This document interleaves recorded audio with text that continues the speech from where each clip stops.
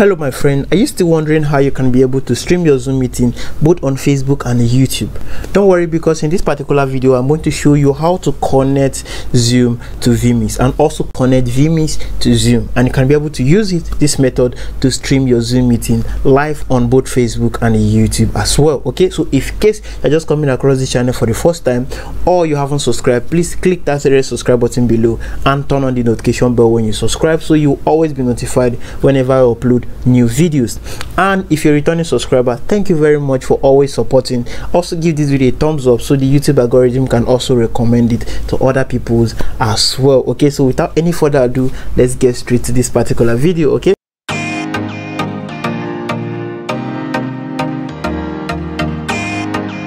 Now the first thing we are going to do is to open our zoom app okay? So you can see it on my window right there. Let me just show you this is it right here. So i'm just going to open it. Okay so i'm just going to open it just double click on it and wait for it to load. You can see here. Now after it uh, you have opened it sign into your zoom account. Okay so if you've opened it sign into your zoom account just as you can see on my screen there and after you signed into your zoom account click on this setting sign here. You can see this one up here. So click on the setting sign there. So just click on it this one here you can see there click on it and go over to video okay?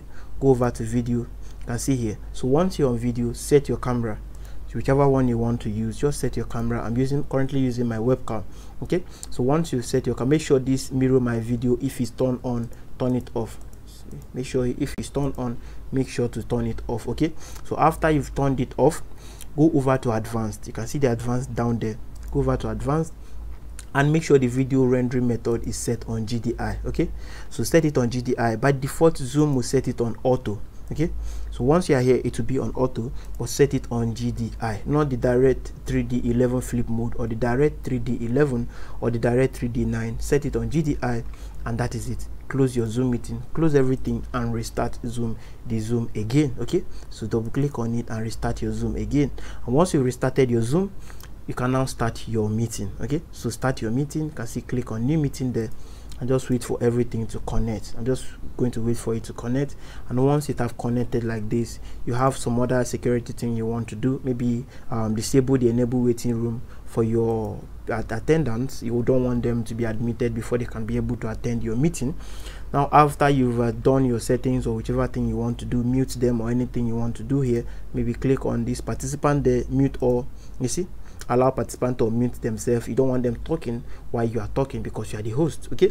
So you can uh, click on this uh, allow participants to mute themselves which will not allow them to mute themselves even if they want to. So if they have any opinion all they have to do is raise up their hands and you'll be able to cite them and unmute them yourself okay?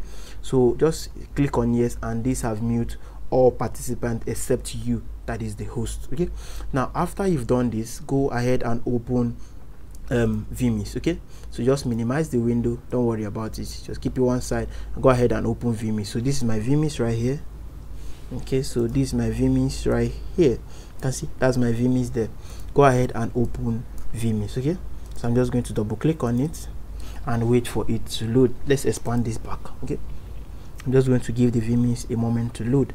Now our vMix is up and running. Now the next thing you are going to do is go over to add inputs there. See, click on add inputs add input there and click on uh, um, NDI and desktop capture. I see NDI and desktop capture. Click on it and go over to local desktop capture. So once you click on local desktop captures you can see the zoom meeting there. Now because this first one here I minimized it. If not you will see zoom meeting and zoom meeting 2 okay? Zoom meeting and zoom meeting 2 because I minimized this particular one here that is why you are seeing only one tab of zoom meetings here okay? So just click on it and select okay.